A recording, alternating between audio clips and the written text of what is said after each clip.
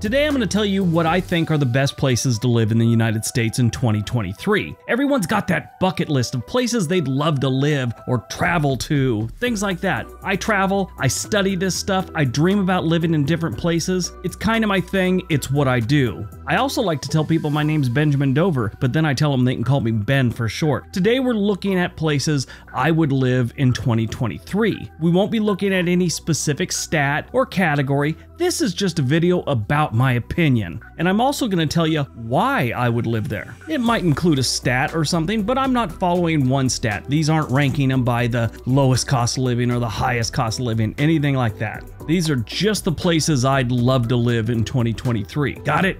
Get it? Good. Let's take a look.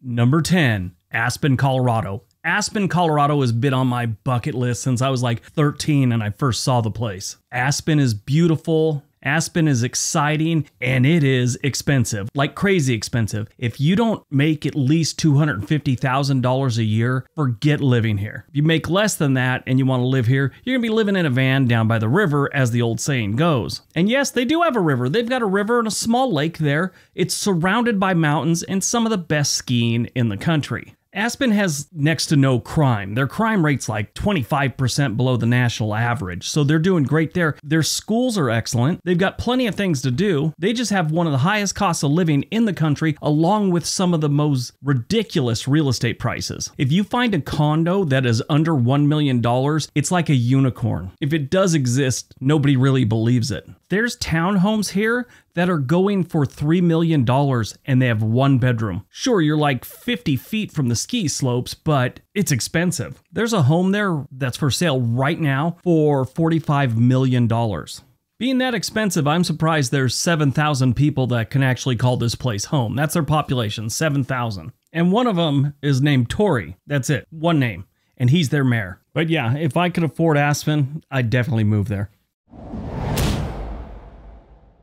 Number 9, Fayetteville, Arkansas. Now, I'm sure a lot of you just gasped. Here's why I think Fayetteville is a great place to live. It's still relatively affordable, cost living, housing still pretty low, and this part of Arkansas, like I've said before, is not like the rest of Arkansas. And the reason I would move here it's a good investment. It's not going to stay cheap forever. They're starting to build more and more million dollar homes in Fayetteville. Now, a few years back, they might have had a handful, but now they're starting to be built. This is just going to raise the property values of all the other homes in Fayetteville. This part of Arkansas doesn't get horrible weather. It's beautiful. They have jobs. The economy is doing really good in this area. Just don't go to Little Rock for any reason whatsoever. Now, is Fayetteville perfect? No, it's got some crime. It still has some unemployment and some poverty like every place. This is definitely not a playground for the rich like Aspen is, but it is a place that has a lot of potential and in the next handful of years, I think if I were to move there or if anyone was to move there, the property values will go up and the place will get nicer. But their cost of living is pretty low, their schools are decent, and their housing is decent too. They also got the University of Arkansas right there in town, so you can go see some Razorback games. Fayetteville, Arkansas is part of a whole metro area that includes Springdale and Rogers. There's about 526,000 people living in this area, so it's not a small town in Arkansas. Number 8, St. George, Utah. St. George, Utah is in the southern section of Utah, not too far from the Nevada border. There aren't a lot of desert towns that I would move to, but I would move to St. George. It's safe, it's reasonable when it comes to real estate, their cost of living is also reasonable. They have great hiking, outdoor activities, and they've got a handful of really nice golf courses in and around St. George. You're also less than an hour from Mesquite, Nevada, and they've got some casinos there, so that's your thing. And if you want to go to Vegas, that's less than two hours away, also. So you could live a very quiet life in St. George and head right over the border for a little excitement in Nevada. You also got Zion National Park, which is right there. So, yeah, St. George is probably the only desert town I would move to.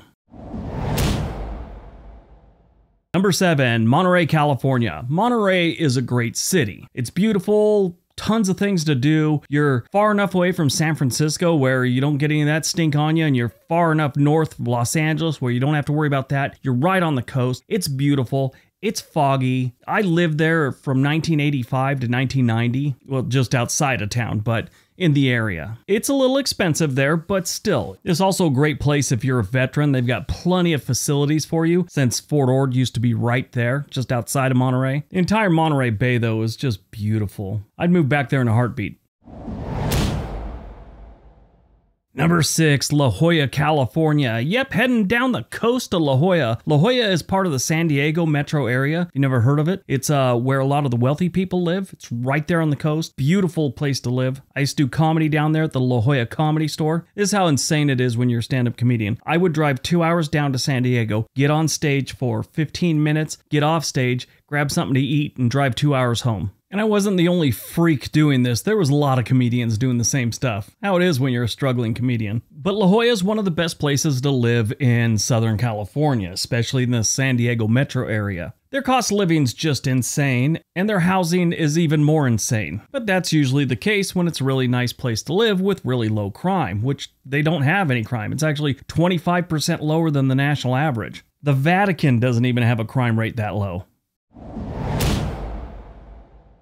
Number 5, Bellevue, Washington. Bellevue, Washington is in the Seattle metro area, and right away, if you don't know where it is, you're going to think that's bad. Well, it is just east of downtown Seattle, but good news for Bellevue, there's a lake between Bellevue and all the drama and all the nonsense that goes on in Seattle. Nothing keeps the criminal element out of your town better than a lake with only two bridges. Right in the middle of that lake is Mercer Island, and that's where you live if you have a title that includes letters like CEO. The late Paul Allen Allen, who's a co founder of Microsoft, he lived there. Steve Miller from the Steve Miller Band lived there. One of the CEOs of Ford, and a bunch of professional athletes. But yeah, Bellevue is a really, really nice town to live in, and I've looked at it several times. I like it up here in the Pacific Northwest, and I've actually given some thought to Bellevue, even though it's out of my budget. Mercer Island is definitely out of my budget.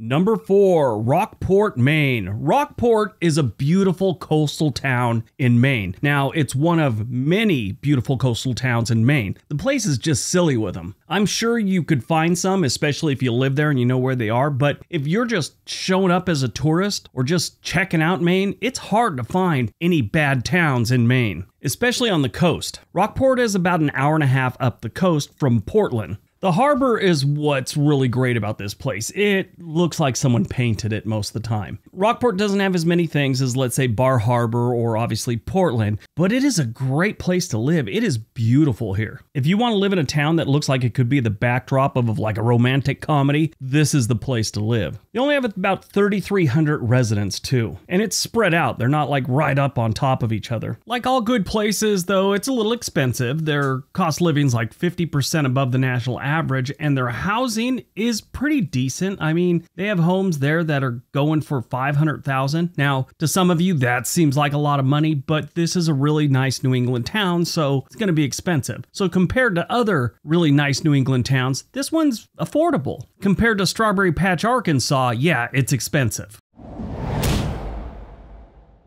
Number three, Honesdale, Pennsylvania. I've talked about Honesdale many times. In my opinion, I think Overall and all around, Honesdale is probably the best town to move to in the United States. It's rural, the land is affordable, the people are decent, the cost of living is low, they have great healthcare in town, water everywhere, hunting, fishing, hiking, camping, drinking. They got quite a few breweries in the area. Plenty of things to check out if you're into history, including Hotel Wayne, which if you ever get a chance, stay there. It's supposed to be haunted. I've stayed there three times. I haven't seen any scary stuff yet, but it's pretty cool. If you get a chance, if you want to check out Honesdale, go during the Roots and Rhythm Festival they have every summer. It's usually in the middle of June. It's definitely a good time. Also, while you're there, definitely hike Irving Cliff. This is a cliff that's outside of town, overlooks town actually. Well, it's named after Washington Irving. Apparently, he used to like to take his lunch up there and overlook the town, have a little lunch. If you don't know who Washington Irving is,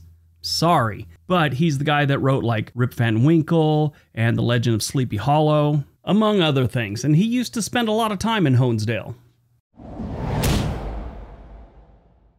Number two, Bluffton, South Carolina. Bluffton, South Carolina is in what they call the low country. It is just inland from Hilton Head, South Carolina, just north of Savannah, Georgia. It's right over the border. This is another town that looks like it could be the backdrop of a romantic movie. You know, like the movies we used to get back in the day with Sandra Bullock or Julia Roberts. You know, there's some woman escaping a bad relationship and they could never love again, but they move to a small southern town and some dude works on their car and he looks like an underwear model and they fall in love. That type of movie. That could happen in Bluffton. It's honestly like this small town, but it's really not a small town. It's got a population of almost 30,000 residents and it's surrounded by some pretty good sized places like Savannah and Hilton Head's got a lot of people there too. So it's almost like part of a metro area, but it's really not. Bluffton's like one of the only southern towns I would want to move to. You know, I like Savannah, great. Charleston's another great one. There's some places in West Virginia I wouldn't mind moving to, but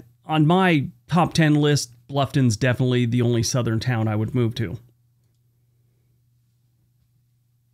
All right, before we get to number one, don't forget we have another channel called On This Day. There's a link down below. There's also a link for Home and Money, which is a website you can go to. And if you're thinking about moving anywhere in the United States, they could help you find a local real estate agent for wherever you're moving to. They've got a whole bunch of other things to help you buy a home also on their website, so check them out. All right, on to number one.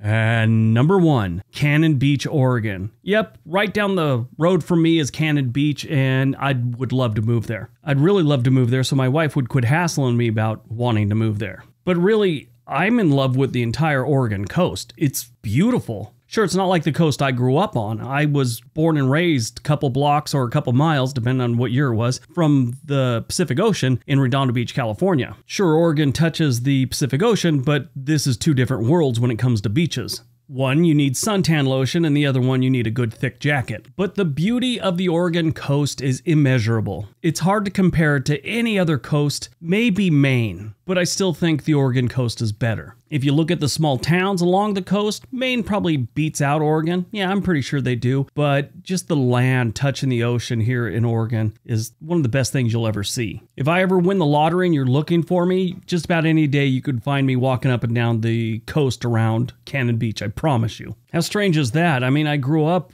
dreaming about moving to Las Vegas and hanging out in the casinos and partying all night. Now I dream about just walking up and down the coast of the Pacific Ocean. All right, that's today's video. Hope you guys enjoyed it. Hope you got some information out of it. This is a little bit different than what we normally do. It's just my opinion. I do hope you guys enjoyed it. Everybody have a great day. Be nice to each other.